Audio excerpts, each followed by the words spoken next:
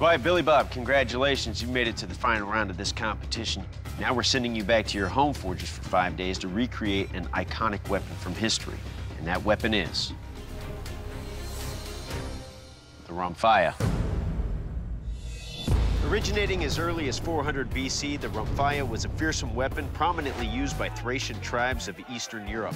It featured a long, single-edged blade that had great cutting and slashing strength due to the blade's slightly forward curve. Usually forged with iron, warriors had to use two hands to wield this heavy weapon, using an overhead sweeping or hacking motion to attack from close distances.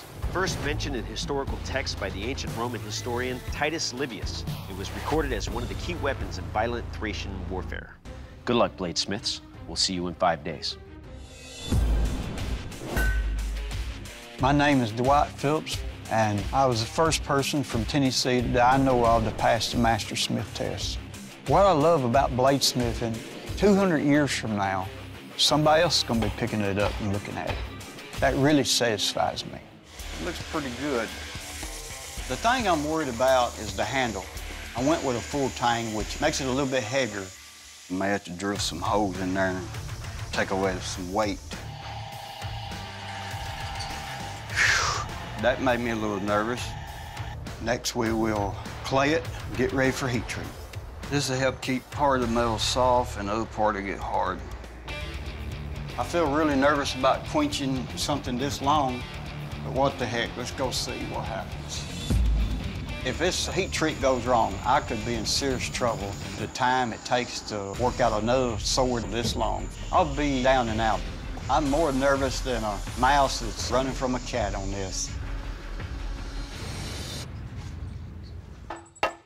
With no cracks in the edge, and it wouldn't warp.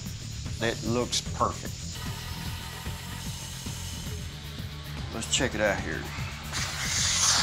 And it's dragging right there. Kind of run out of time. If I don't get this blade razor sharp, Billy Bob could take home the money. I have got to fix it. It's better. If I had a lot more time, I could really stone this edge and get it even sharper than that. But I think it's gonna go through everything they put up against it. We just have to see.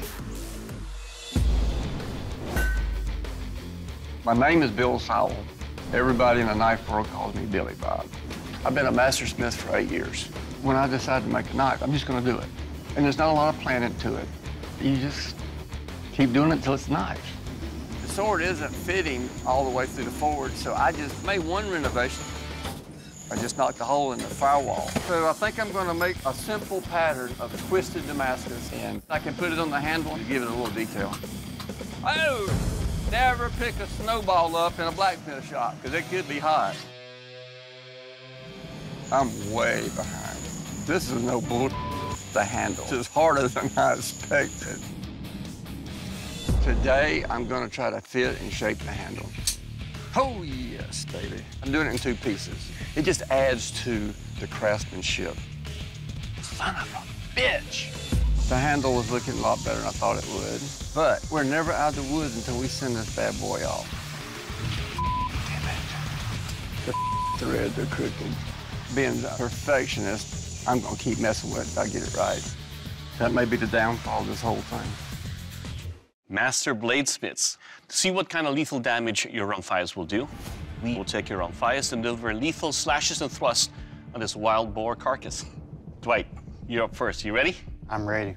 As you can see, I'm still recovering from an injury. So to be my arm today, I'd like to welcome my brother, RJ Marcaida.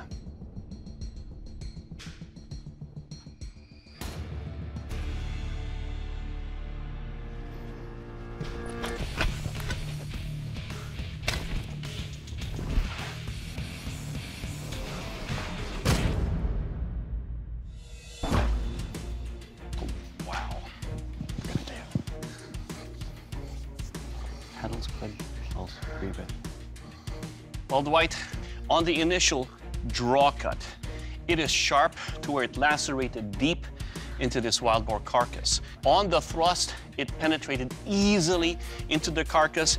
And on the final cut right here, your blade cut all the way through the carcass. Overall, you're your Rhomphaia will kill. Thank you. Good job. All right, Billy Bob, It's a hard act to follow, but let's do it.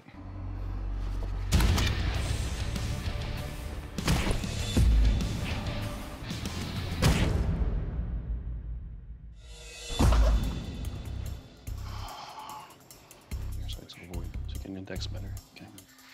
All right, Billy Bob, it's so light you can almost wield it with one hand. The edge over here is so sharp, it lacerates easily without much force. The profile you have over here for thrusting allowed it for a very deep, quick and out penetration. Overall, you're Rhomphaia will kill. Thank you. Next up is a strength test. Ben? Gentlemen, to test the strength and durability of your blades, I'm going to clamp them into this machine, and it will deliver a strike on the sugar cane of about 500 pounds of force. Remember, this test is all about what the sugar cane does to your blade and not what your blade does to the sugar cane. Dwight, I've already clamped yours in. Are you ready to go? I'm ready. Three, two, one.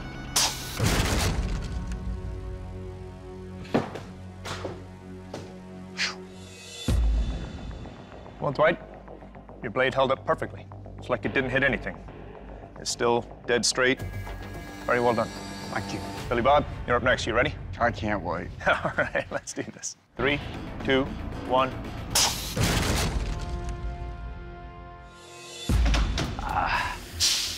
Kill me. Well, Billy Bob, I love the overall weight. It feels like it's a really good chopper. And uh, most importantly, the edge is still as razor sharp as it was when you brought it here. Very well done. Thank you, sir. Next up is the sharpness test. And for that, I give you to Dave. All right, gentlemen, I'll be working my way through this rope maze by cutting. We've seen your blades kill. Let's see if they've held their edge. Dwight, you're up first. You ready? I'm ready. All right, let's do this.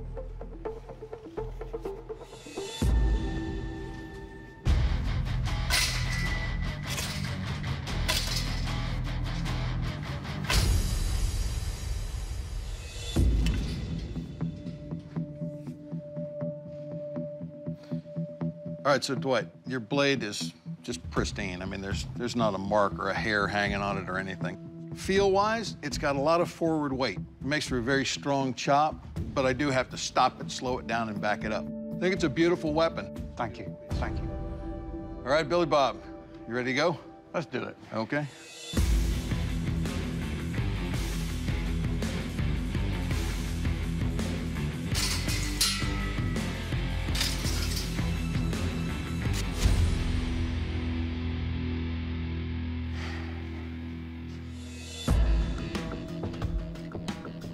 Billy Bob, this is sharp. It blew through rope like nothing. I felt I could really control this weapon uh, just because it, it's so much lighter up through here. Fabulous weapon. Thank you. Well done. Dwight, Billy Bob, both done masterful work, as expected from master smiths. However, in this arena of competition, there can only be one Forged in Fire champion, and that champion is...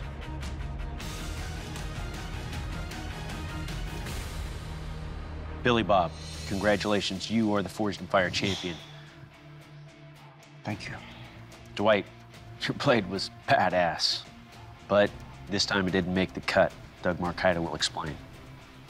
Dwight, first of all, this is exactly what we expect for a final round. Two beautifully matched blades, but your blade is slightly heavy that offsets its balance compared to Billy Bob's, and it's for that reason we're sending you home.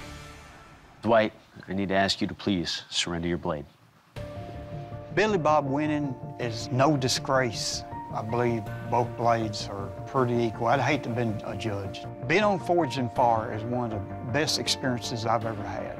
If it's something that you're passionate about, you need to go for it.